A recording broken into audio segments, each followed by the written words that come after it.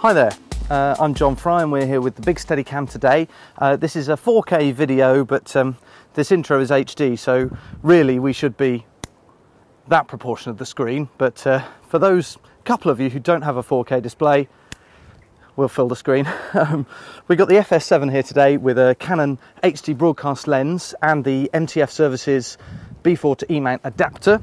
And uh, we're gonna have a wander around just to see how useful that lens is on a 4K chip with the doubler and through the adapter what the quality looks like in 4K. And we've also got the zoom demand, the powered zoom for this, so we can zoom during recording, um, which actually in broadcast and live situations can be really useful. So let's go and have a look and uh, see what it looks like.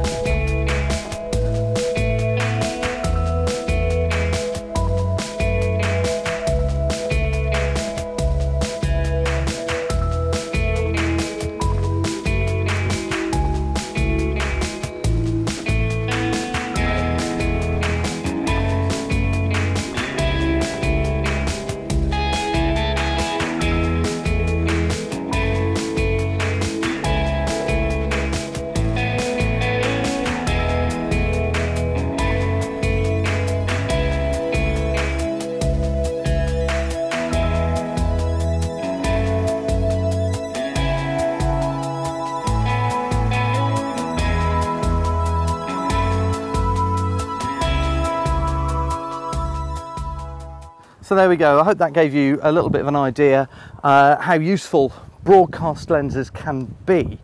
Uh, you know, Cineglass, prime lenses, etc., can all be really, really useful. But a decent broadcast zoom, actually, uh, you know, there's a reason that these cost 10 times as much as DSLR lenses, 20 times more, in fact. Um, and there's a you know there's a very good reason for that, and hopefully you've you've seen how, how sort of useful and interesting they can be, um, especially on the Steadicam with the powered zoom. So uh, hope that was interesting. Thank you very much for watching. I've been John Fry, and uh, this has been the FS7.